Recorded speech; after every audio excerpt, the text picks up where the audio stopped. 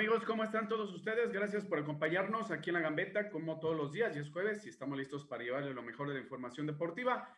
El día de hoy, pues con algunas novedades interesantes, la, eh, la Liga Expansión eh, está abriendo la posibilidad de un tercer equipo invitado de la Liga Premier, y eso es interesante, ya lo analizaremos, porque se abrió una opción para, para reboceros en caso de que haya interés ojalá se pudiera dar esta situación, pero ya lo, ya lo analizaremos más adelante. Tendremos también algún contacto con Antonio Villanueva, que es el presidente del Taekwondo en el Estado. Inician participación de eventos nacionales e internacionales también muy interesantes que estaremos siguiendo con todos ellos, eh, entre otros temas que el día de hoy vamos a platicar con ustedes y con mi buen amigo Sergio Román, que ya está listo. ¿Cómo estás, Sergio? Hola, ¿qué tal? Ismael Herrera, muy buenas tardes, amigos de la Gambeta. Es un gusto, es un gusto como cada día estar compartiendo con ustedes nuestro punto de vista, nuestras opiniones. Por supuesto, les pedimos que también interactúen con nosotros, que eh, ahí nos escriban sus opiniones de acuerdo a los comentarios que nosotros eh, pues hacemos. A final de cuentas, una opinión personal, eh, y, pero ustedes también son expertos en esta, en esta materia y por supuesto, pues hablar de esta situación, Ismael, que se, está, se va a dar en la Liga de Expansión, donde ya se abrieron eh, pues la posibilidad de que llegue un invitado de la Liga Premier. Eh, seguramente el primero que, que recibe este, esta situación, eh, pues va a ser una situación escalafonaria, ¿no? por competencia.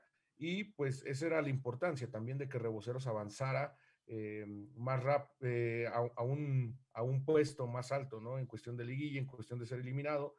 Eh, pero bueno, hay una situación también ahí con Irapuato que tiene que validar toda una carpeta de cargos para que también pueda entrar, no solamente por ser campeón, inmediatamente está ahí, debe de, tener la, la capacidad de, de poderse mantener en una categoría que, no, hasta el momento no está autorizado. Pero ya también está Lalo Rubio. ¿Cómo está Lalo? Hola, Ismael Herrera. Buenas tardes. Sergio Román, buenas tardes. Buenas tardes ahí a la gente de cabina en los controles. Hoy es jueves, jueves 3 de junio de 2021 y estamos listos para dar inicio aquí a la gambeta con comentarios sobre el mundo del deporte. Así es, y bueno, pues entrando de lleno a este tema, eh, se abrió esta posibilidad por parte de la Liga de Expansión de un tercer invitado de la Liga Premier. Y bueno, se han manejado muchísimos, ¿no? En, eh, en, esta opción. Sí, por supuesto, ya lo señalaba Sergio, uno de los principales requisitos es que reúnas los requerimientos del cuaderno de cargos eh, en cuanto a estadios, todo este tipo de infraestructura, solvencia económica, una serie de circunstancias eh, y sí no se ha señalado equipos, no, pero bueno, ahí se abre la posibilidad para, para reboceros, por eso la importancia, ojalá haya interés, no sabemos todavía de la directiva de reboceros qué vaya a decir al respecto o si haya interés de ellos, porque también tiene que haber interés de los clubes, ¿no? Y que puedan ellos solventar un compromiso de este tipo, porque es muy diferente de la Liga Premier a la Liga de Expansión, las exigencias y por supuesto, pues también los requisitos que deben de cumplir. Sí, por supuesto, por ahí eh, ya informaba eh, la misma Federación Mexicana que pues esto pues ya se oficializa, ¿no? El proceso para la participación del equipo que ganó, bueno, el equipo que, ganó su lugar, pues ya están ese par, pero ahora eh, se ha abierto el, proceso para la participación de un tercer equipo invitado a la Liga de Expansión MX. Entonces, pues ya también lo ha dado a conocer eh, la Federación Mexicana de Fútbol. Este, y, pues esperar, vamos a ver y conocer quién es el que eh, cumple con esta carpeta. las manos. Hay, hay dos equipos, uno del centro del país y otro del norte, que me parece que querían también participar en esta liga de expansión para foguear a sus jugadores. Son los casos de Cruz Azul Hidalgo, que también fue finalista en esta liguilla de la Liga Premier, y el equipo de Monterrey por ahí de Nigris, que estaba como auxiliar de Javier Aguirre, pues deja de ser su auxiliar y me parece que eh, lo quieren ubicar como director técnico de este equipo de Liga de Expansión. Igual al conjunto rayado, me parece que está abierta la posibilidad de la llegada de Alfredo Tena como auxiliar de Javier Aguirre. Y bueno, volviendo al tema de esta Liga de Expansión, pues están las, está el, escrito o, los postulados sobre la mesa para ver qué equipos eh, reúnen este cuaderno de cargos y ya lo habías comentado tú, Ismael, sobre pues eh, las autopistas, eh, quizá los aeropuertos, la infraestructura hotelera, eh, el estadio, un determinado aforo y sobre todo la solvencia de quienes son los dueños de las franquicias para poder aspirar o postularse para inscribirse a esta liga. Perdón. De hecho, Ismael Eduardo, si, si, me dan la oportunidad de, de realmente lo que dice textualmente el comunicado, es lo siguiente. Eh, la Asamblea General de la Federación Mexicana de Fútbol autorizó la participación de tres clubes con base en una propuesta de la Liga Premier en calidad de invitados en la Liga de Expansión MX, siempre y cuando dichos clubes cumplieran en todos y cada uno de los requisitos que se establecen en los reglamentos aplicables y completarán de forma exitosa el proceso de evaluación y auditoría financiera, siendo los clubes de Tepatitlán y Tlaxcala los dos participantes autorizados a participar en el torneo Guardianes Clausura 2021. Entonces, a esta situación queda eh, independiente un tercer invitado, que aquí lo manejan, que hay cuatro candidatos eh, propuestos para la Liga Premier, entre los cuales eh, se encuentra el actual campeón de la división. O sea, esta situación de que, del, Irapuato. de que Irapuato haya sido el campeón es el primer considerado. Después de Irapuato hay tres eh, candidatos que deben de cumplir con esta situación del proceso de evaluación y el proceso de la auditoría financiera. Sin embargo, déjenme recordarles que la situación de, Irapuato no ha sido eh, la mejor para, una, para que se dé un proceso de auditoría. Eh, sabemos los, los problemas que en algún momento tuvo el Club Irapuato y, bueno, creo que eso podría complicar eh, pues su llegada a la Liga de Expansión. De hecho, de momento no está reuniendo los requisitos, eso ya se ha señalado. Tendrán que, pero hay pues eh, que esperar a ver si hace algún esfuerzo la directiva de Irapuato, pero de momento no está este, todavía confirmada su participación al no reunir los requisitos. Pero bueno, en un momento seguimos platicando más de este tema, vamos a una pausa, regresamos para eh, continuar aquí en la Gambeta.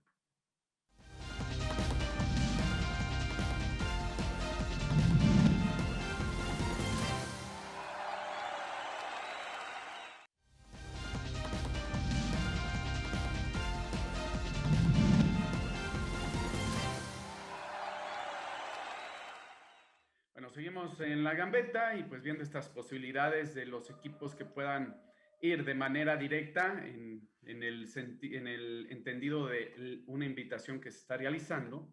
No es deportivo, es administrativo por ahí la situación. Y eh, viendo las opciones que ya señalábamos, Irapuato, pues de momento que era, que era como el principal o el candidato número uno, eh, está en stand-by, está en espera.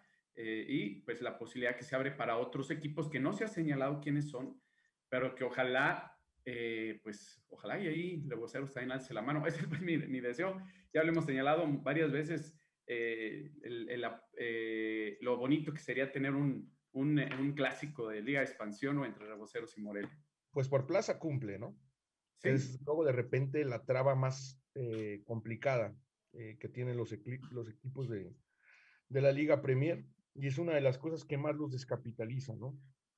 El poder hacer un inmueble que, esté, que cumpla con la, con la situación de, de accesos, con la situación de embutacado, eh, que cumpla con todos estos requisitos, eh, creo que es de repente lo que más eh, se le complica a los equipos por toda la inversión que conlleva hacer un, un estadio de, de, que pueda albergar a más de 20 mil espectadores. Entonces, yo creo que la Piedad podría ser una buena opción. Eh, son cuatro, están marcadas las cuatro eh, eh, sedes que podrían ser, o cuatro equipos que podrían ser este, los invitados.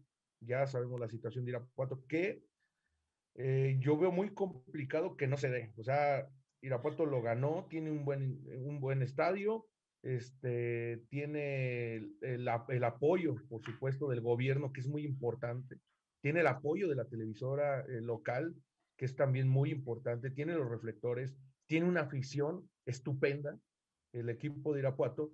Ahora la situación es, si todo lo llevaron con una planeación a futuro, en la cuestión fiscal deben de estar impecables, que hoy, pues es lo que más está fijando la federación, ¿no? Nos guste o no, eh, creo que es, un, es muy necesario, ¿no? Que todo, que todo eh, transcurra con, con claridad, con transparencia, sin corrupción y con mucha limpieza en el fútbol mexicano. Que, en, el, en, el, que, en, la situación del dinero eh, podría modificarse, porque ya vemos, ahorita vemos que la, el, el mm, ¿cómo les dijera? La limitante que hay para, para San Luis con este nuevo propietario es precisamente en el aspecto económico, porque ellos quieren eh, por ahí eh, tener un poco de inversión, si no mal recuerdo, el 1% con Bitcoins, que es la criptomoneda o moneda digital que actualmente está manejando y que también tiene parado un poquito ahí la negociación, porque la federación también sacó un comunicado donde no acepta ese tipo de, de, este manejo financiero, pero que también ha puesto a, a, a reflexionar, porque la criptomoneda en los últimos años ha tenido un crecimiento enorme.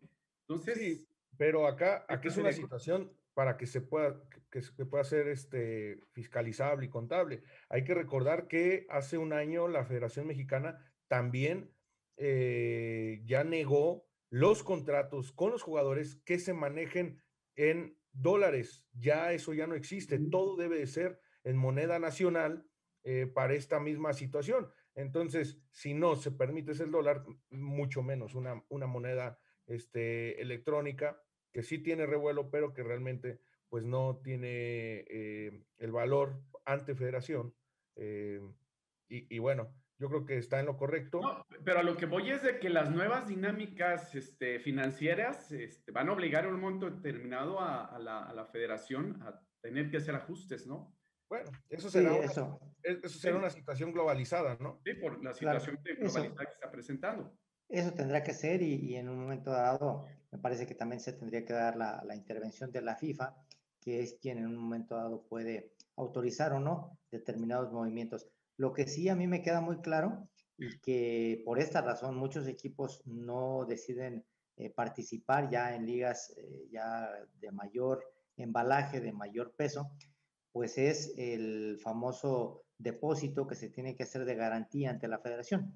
No sé, hace algunos años era de 10 millones de pesos el, depósito que se hacía como un fondo garante precisamente para eh, que cuando se dan problemas de atraso de sueldos, de cuestiones de nómina, de cuestiones de impuestos, pues la misma federación pueda de ahí disponer.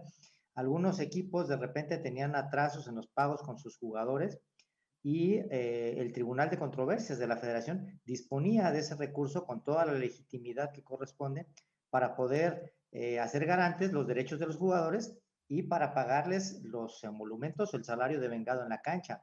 Entonces, ese es uno de los motivos principales, el, depósito que se hace de garantía para eh, que los equipos puedan participar en la división. Son muchos factores.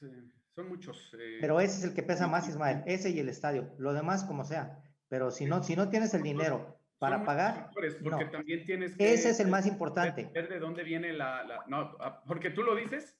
No, no porque así es. Porque así es, porque lo he escuchado de viva voz de directivos, que de repente dicen el fondo que pide la federación. Eso no, lo es, porque en, la situación de Irapato también eh, financieramente está bien, pero hay otros factores también que no lo han permitido, o el caso mismo de San Luis por la situación de la moneda. O sea, son, son muchos factores y en todo se debe de reunir los requisitos que exigen. Sí, claro. Ahora también hay que ver la situación de los propietarios. Eh, tengo entendido que el propietario actual es eh, de, Irapuato es, son los San Román. Sí. Entonces, sí, es la familia San Román. Entonces, ellos tienen una, una franquicia eh, que me parece que también es de ascenso, eh, y no sé, no, no, no, sé si es Alebrijes, no sé si es este Alebrijes o uno que se quedó congelado. Entonces también está esa situación este, que, podría, que podría ser eh, pues ahí estudiada, ¿no? El, caso es, el caso es ese, Ismael y Sergey. Yo reitero, ya a, esas alturas las franquicias que pueda tener un, propietario son validadas como multipropiedad y ya la federación no admite como fondo garante una franquicia. Anteriormente sí, anteriormente sí, por ejemplo, Irapuato decía, bueno, yo no tengo el dinero contante y sonante, pero tengo una franquicia que vale tanto. Y entonces la federación eh, congelaba esa franquicia o la tomaba como garantía. Pero ahora puede tener 20 franquicias en la federación y si no vende ninguna le falta liquidez, que es a fin de cuentas lo que es importante para los clubes. No, no la solvencia, que es diferente, la liquidez, el tener en el momento el dinero para disponer, para hacer todos los pagos que sean demandados tanto por la federación como por los propios gastos de operación del equipo. Sí, coincido con, y coincido con Eduardo. Eh, se debe dejar un fondo para en caso de cualquier situación que pueda ocurrir, pues la federación saca por medio de ese fondo, ¿no? E-, eso está estipulado en reglamento.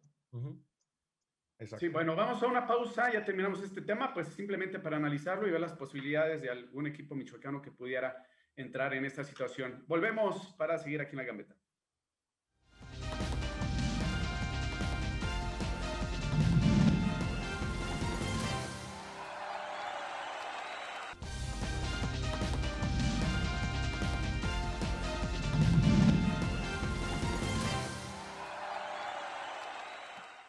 Estamos de regreso en la gambeta, dejamos un poquito a un lado lo del fútbol y vamos a entrar al taekwondo porque ya tenemos listo por ahí al buen amigo Antonio Villanueva, que es el presidente de la Unión de Taekwondo del Estado de Michoacán, a quien envío un saludo. ¿Cómo estás, Toño? Muy bien, muchas gracias por la invitación aquí a la orden. Oye, y haciendo tu, tu presentación como presidente, apenas unas semanas atrás fuiste nombrado con una, una gran cartel de eventos que tiene la, la asociación y los deportistas michoacanos, ¿no? Sí, mira, eh, bueno, yo había sido dirigente en dos ocasiones, una vez un periodo de cuatro años y la otra vez un periodo de un solo año. Recording in progress. Me fui a la, me fui a la federación eh, como vicepresidente de siete años, entonces estamos retomando el tema nuevamente aquí en el estado. Este, había, digamos, dos este, planillas, una era, en mi contrario, era eh, Guillermo Pérez, el campeón olímpico, y bueno, al final de cuentas, tuvimos una puntuación de 37 votos a favor míos con 24 de él. Entonces la mayoría decidió, la asamblea fue muy tranquila, muy cordial y este, pues bueno, aquí estamos ya con muchísimas eh, tareas pendientes. Este fin de semana, por ejemplo, tenemos el campeonato nacional, que era antes el junior, lo que llamaban el junior, es en la ciudad de Cancún. Bueno, vamos a participar solamente con seis atletas y, este, y un entrenador. Este, de, de, las cartas fuertes que tenemos, pues es Karen Alvarado, que ha sido eh, multimedallista nacional y es precisamente hija del entrenador Pavel Alvarado. Antonio, ¿cómo, eh, bueno, pr primero que nada, pues eh, felicitarte por, por esa elección que ha sido ganada en la Unión Michoacana de Taekwondo, pero ¿cómo encuentras a, a esta, pues, Unión Michoacana, a final de cuentas, ¿cómo, cómo la encuentras? Este, está desorganizada, está dividida, está bien, eh, tiene cosas que, que, que, mejorar o no? ¿Cómo lo encuentras? Sí, claro, siempre hay proyectos para que mejore el Estado. No estamos divididos, o sea, el hecho de que ha habido dos planillas, eso habla muy bien porque no todos pensamos igual. Habrá quien gente tenga sus puntos de vista a favor de uno y a favor de otro. Lo que yo te puedo decir con lo que yo me quedo en, en esta unión la gente que ya me conoce este, y que sabe los aciertos que he tenido, igual los errores que he tenido, pues decidió nuevamente darme la oportunidad. Este, yo soy parte de un grupo de trabajo. La planilla mía se llama La experiencia hace la diferencia. Entonces, este, entiendo que hay pues, gente con mucha calidad en la otra planilla que los estamos invitando a que se suman al trabajo. Realmente Michoacán merece estar nuevamente dentro de los primeros lugares, como fue en su periodo, un ejemplo nada más, a lo mejor ustedes no recordarán, cuando yo agarré Michoacán, lo agarré en el lugar 27 en el año 99. Entonces, en un año, en el 2000, ya éramos campeones nacionales. Entonces, estuvimos avanzando bastante con, con el trabajo de unidad, bastante con el trabajo de aceptaciones, de que se sumara la gente a un grupo de, de buena intención, de buen trabajo, que no hicieran por Michoacán, sino que hicieran por ellos y de esa misma manera representaría para Michoacán algo mejor.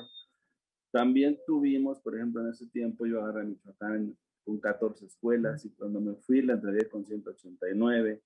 A los juveniles los encontré en 23 lugares, en el tercer lugar y lo entregué en segundo. O sea, se ha venido haciendo un trabajo muy bueno y es el que vamos a retomar ahora con la gente que me apoyó y con la que no me apoyó también. Oye, ¿este evento nacional es también selectivo para Juegos Nacionales? Eh... Ese, ese, es un, el selectivo nacional junior va a ser en el marco del Campeonato Panamericano también. Ah, también. Y también tenemos el para Taekwondo Panamericano y nos va a representar el seleccionado nacional Alberto López Torres. Por ahí les mandé ya la información de todos los competidores a tu WhatsApp, Ismael. Y ahí tienen los pesos, tienes el, el, lugar en los kilos en los que van, qué tipo de, de competidor es y la calidad que ellos tienen, pues es bastante el campeón nacional, Alberto López Torres y nos va a representar en K42 en los menos de 61 kilos. Tenemos muy buenas posibilidades con este muchacho. Y eso es para igual, igual felicitarte, Antonio, por, por, la elección, igual felicitarte por, por, la elección y preguntarte cuáles serían las sedes de, de, estos, de estos torneos por venir, cuáles son los, los eh, ciudades o estados que están propuestos como sedes para los eventos y si hay alguna posibilidad de competencia internacional. Claro, de hecho, de esto, este evento está dentro del Panamericano y el para, para Panamericano, que es donde nos representará este Alberto López. Este, este evento es en la ciudad de Cancún, es este fin de semana. Se están tomando, al igual que aquí en el estado, todas las medidas de, de, salud eh, que nos marcan las autoridades correspondientes en, en, las sedes para llevar a cabo esto sin el menor riesgo posible, vaya. Y, por ejemplo, el fin de semana pasado tuvimos aquí en, en Michoacán, en Morelia, la, la visita eh, por invitación que les hicimos a la selección de Jalisco, del estado de Guanajuato, gente del estado de México. Este, estuvieron un promedio de 115, 120 competidores de diferentes estados con la finalidad de foguearnos. Estamos próximos a ir también a hacer un tope de control a, eh, a Monterrey con la misma finalidad de que haya un fogueo antes de los Juegos Nacionales, eh, lo que era antes la Olimpiada Nacional. Entonces, estamos con muchísimo trabajo, estamos eh, reestructurando nuevamente el colegio estatal, que es, a la parte muy fundamental de la asociación, los jueces. Toño, ya, para prácticamente despedirnos, nada más que me digas cuál es la expectativa para Juegos Nacionales por parte de Michoacán. Pues consideramos que podemos traer de una a dos medallas. Ese es nuestro objetivo. Ahora la participación es muy poquita, pero eh, es gente que ya tiene experiencia y esperamos que puedan avanzar en, las diferentes contiendas y poder obtener, subirse al podio. Bueno, te agradecemos mucho, Toño. Eh, pues éxito en esta nueva encomienda que tienes y por supuesto a los deportistas michoacanos en el Taekwondo que siempre han estado presentes por ahí en los medalleros. Te agradezco mucho la invitación, estamos aquí a la orden y tengan la certeza de que vienen muchas cosas muy buenas para Michoacán. Sabemos cómo hacerlo y esperemos que toda la gente se sume al trabajo de Taekwondo. Muchas gracias. Muchas gracias. gracias. ya nos estamos despidiendo por ahí, Sergio. Hasta luego, Ismael. Antonio, muchas gracias por estar acá. Y Eduardo, nos vemos el día de mañana, ¿no? Sí, primeramente Dios, por aquí nos vemos el día de mañana en la gambeta. Ismael, muchas gracias. A la gente de controles. Antonio, muchas gracias. Y por supuesto a la muchas gracias. Gracias a ustedes. Nos vemos el día de mañana aquí en La Gambeta. Gracias. Buena tarde.